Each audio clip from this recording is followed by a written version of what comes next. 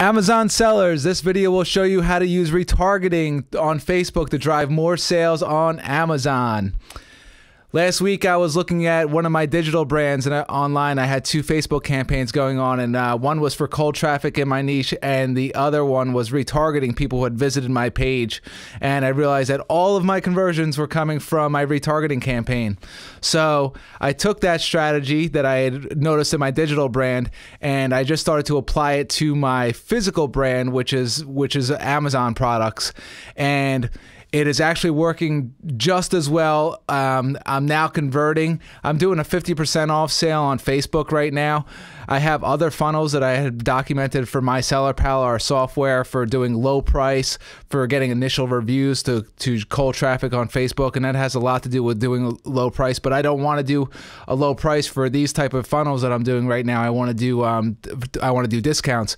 And if you're targeting cold traffic, um, and they don't know your brand, you're gonna have a little bit. You're gonna have you're gonna have more friction there. So what I'm what I've done, which is working out really really well, is now I'm doing retargeting that traffic that actually had clicked through to my landing page. So I'm gonna go through step by step on showing you how you can drive external traffic. That external traffic can be Facebook, it can be YouTube, it can be from your own email list and so forth. And the people who click through to actually then retarget them on Facebook to to give your Amazon product offers on Facebook to people who have who have raised their hand and say they're interested. You know, we're all very busy in today's world, so if you look at your phone and there's something that you actually really might want at a discount that you see on sale on Facebook, you might get distracted by something and step away. So you those retargeting ads are are are key. Um, I've heard so much about them and so forth in the past, and I had done a little bit of it in the past, but I really started to focus on my metrics and there's no doubt that it's it's working for me really well. So I'm going to show you step by step in this guide on how to set it up for yourself. And here, let's go. So the first thing you're going to need to do for retargeting is to create a retargeting pixel. I'm going to show you how to do it uh, with a Facebook pixel, but it's a similar process for Google if you want to paste that that stuff into your your landing page or wherever you're going to drive traffic to. Now, you're not going to drive traffic straight to Amazon because you cannot retarget people on Amazon directly and so forth. Amazon doesn't let you put your retargeting pixel on on on their website. So if you're investing into emailing people, driving Facebook ads, driving uh, creating youtube videos to promote your products uh, pinterest etc any of these external traffic sources you're going to want to drive to some intermediate landing page. And yes we have a product my seller pal which actually makes that really really easy that you just type in your asin and out pops a landing page you can do this. But i want this tutorial to be useful for you if you have your own wordpress site or whatever if you're a web developer and you want to roll your own kind of solution. The same process follows. So let's go into Facebook here, and we're going to. I'm in the business, the business app for setting up a pixel. I believe that this is very similar for for if you have an individual account. So what? In here, I'm going to click on Set Up Pixel, and basically um, they support two different two different things here. They support a tag manager, which I'm not going to get into. That's for uh, something that's a little bit more advanced. But we also have a copy and paste code, and this is by far the simplest way to go. So I'm going to click copy and paste code, and here, what you have here is Facebook pops out a little bit of HTML code that you can take here, and you take this code and you copy it. It's copied to my clipboard, and now we're going to paste that into a landing page. So I'm going to go and scroll down here. There's some event codes and some other things that you could that you could potentially do here. We're not going to get into that, but I will go to my Seller Pal now, which is my landing page platform for a product that we have that I have set up beforehand. So here on my Seller Pal, you can create landing pages by just by putting in an ASIN. Um, if you again, if you have some other landing page platform that you that you use, that's cool. So what I'm going to do here is I'm going to go to edit my landing page on my Seller Pal, and then I'm going to scroll down to this is for a uh, a yoga mat here, and I'm going to scroll down to a script section, and now I'm just going to simply paste that that in here.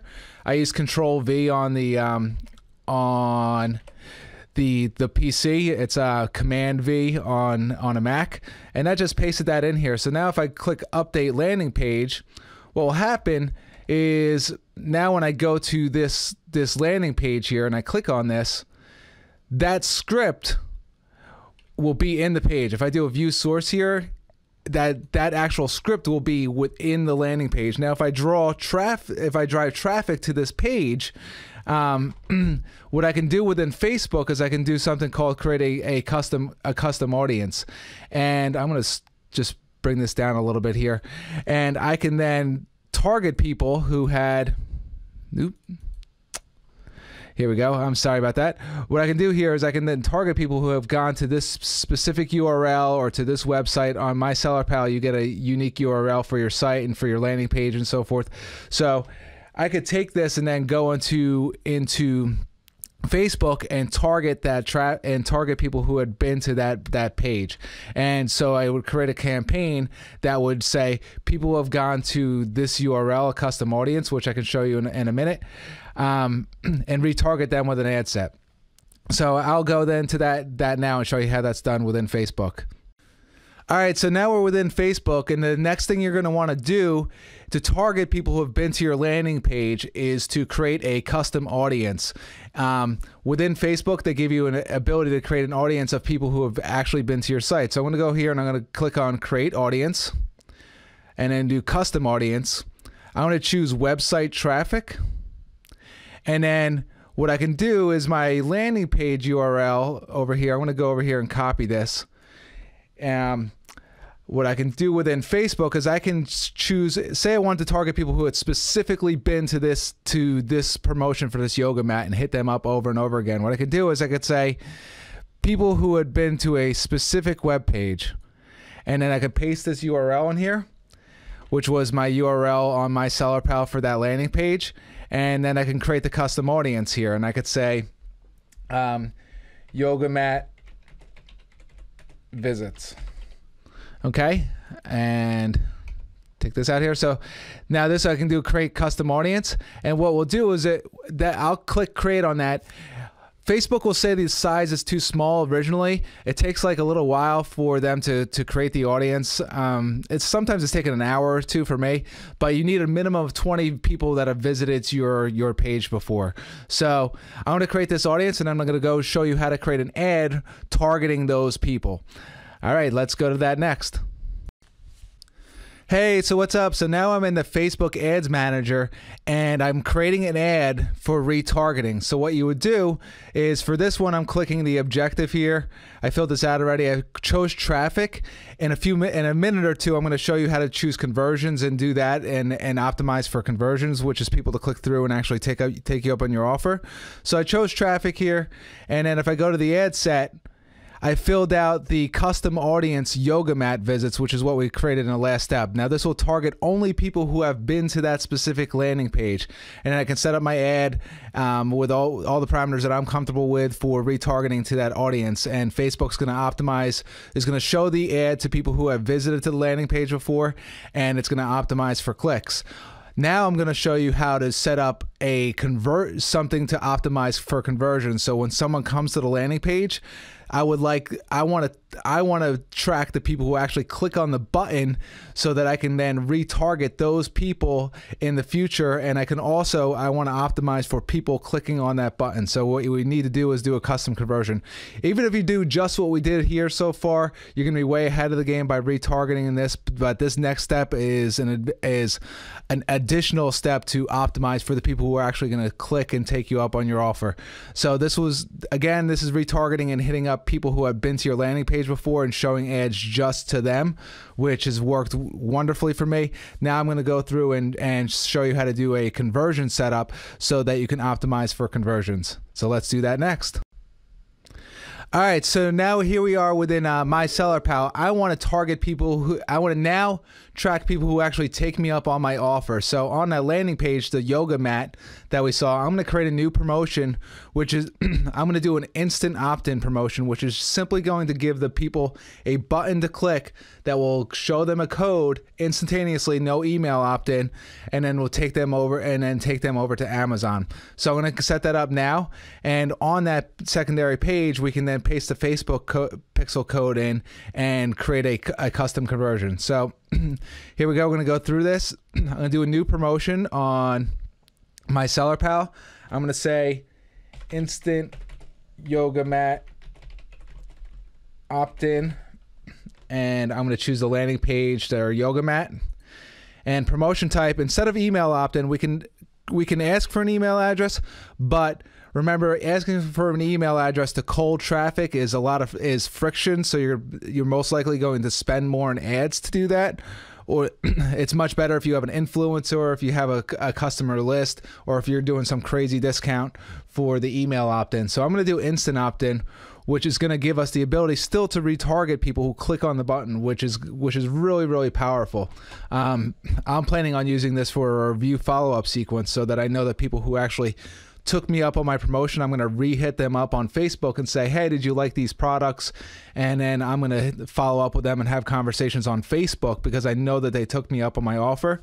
Um, So this is really powerful. But what we're going to do here is we're setting this up so that we can create a, a Facebook conversion so that your Facebook ad can optimize the people who are actually clicking through to take you up on your offer. So I know that's a lot to to to take at one time. Feel free to rewind this video, and also we can we can step through this uh, step by step here. So I just want to give you an overview. So here we go. We're going to do edit this promotion.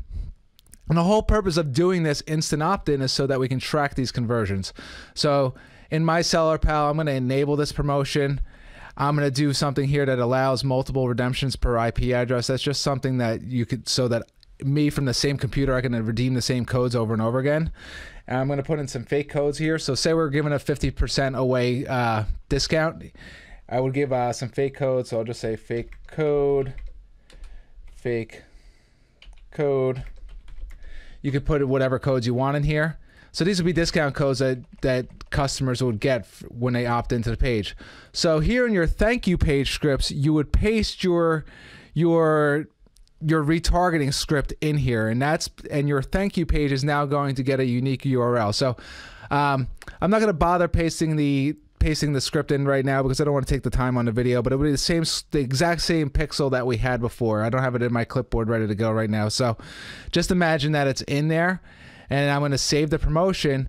And now what we have is for that thank you page, we have a unique URL. Remember when we when we targeted before, when we created that retargeting campaign based off of the URL of the landing page? This is the URL that they go to when they get the code. So if I go to this if I go to this landing page on my seller pal and say get my discount code, that URL that they went to just now where they just got their their unique code is this URL that we just saw in that we just saw within the the admin section here. So I'm going to take that URL and now I'm going to show you on Facebook how to create a custom conversion. So anyone who clicked on this button, you want to be able to to know that they that they took you up on an offer. Now we don't know that they actually bought it on Amazon, but if they get this far, you have a pretty good feeling that they're they're at least interested, and that's what you want to target. That's what you really want to target and optimize for next. So I'm going to go into next. I'm going to show you on on on Facebook how to create a custom conversion based off of this.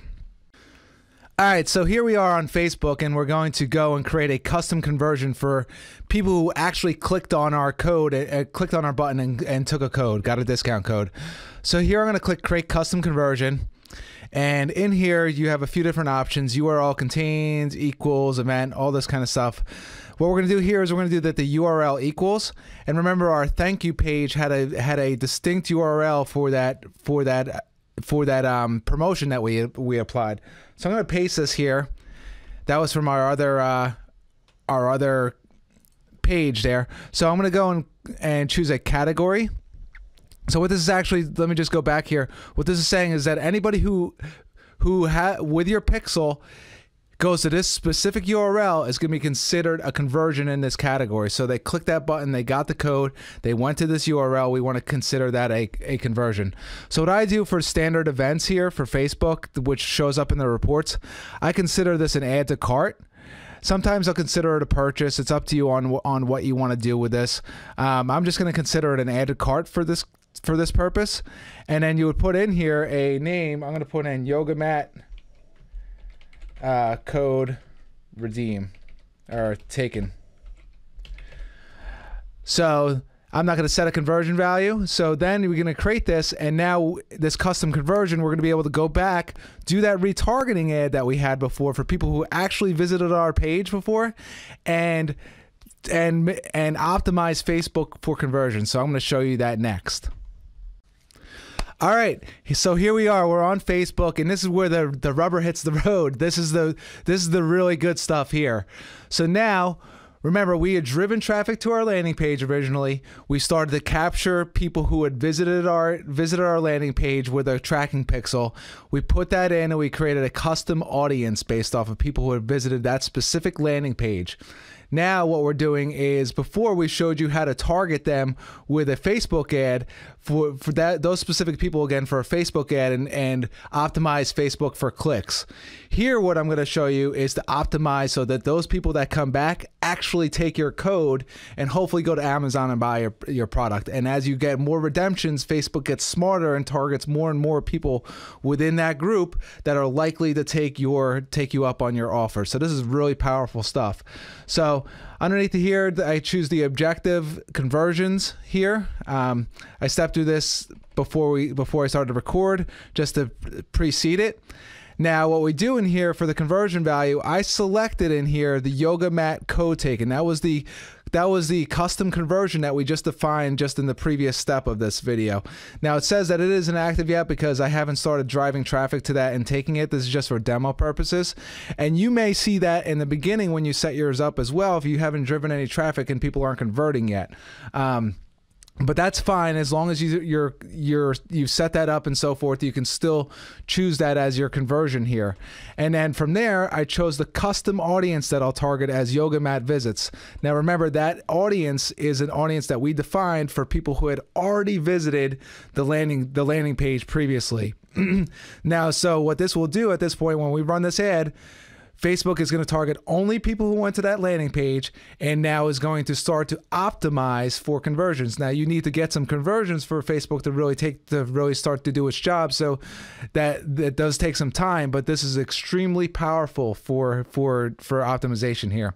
So again, I hope that this helps you for Amazon sellers. I'm seeing this being really successful in my in my digital brands business, but I'm also seeing it be successful for my for my Amazon physical good, goods businesses. Now, I've only been doing 50% off uh, promotions right at this time. It's as far as I've gotten for testing for this. I've done low price before for reviews and so forth, which we have some documents on on launch processes for getting initial reviews on Facebook but I'm now successfully using this sequence for uh, for 50% off my products, which is fine for me for boosting BSR and for getting initial um, initial people. So what I want to do as a follow up sequence to this, and I'll do a video at some point. So for this. So like our page, My Seller Pal, if you haven't already. And what I want to do after this is when I start to get the sales for those people at 50% off, I'm going to specifically target those people who took my codes and ask them for feedback on my product on Facebook. And my plan is that if they have great things to say and I can offer great customer service, to then give them a link to Amazon to hopefully review my product. And it's a, it's an it's a sequence to get reviews that I want to test out. That's totally outside of of the email system of Amazon and so forth. So I'm really excited to try that out. So if you like this, please give it a, a, if if this video has been helpful to you, please give it a, give our page My Seller Pal a like.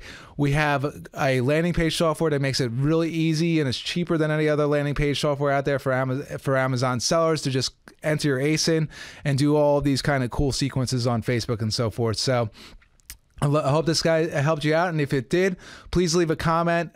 Um, I would really appreciate it, and a share into any of the Facebook Facebook groups for Amazon sellers. I would absolutely appreciate that if you found some kind of value in this. Thank you again, and uh, good luck with everything. Take care.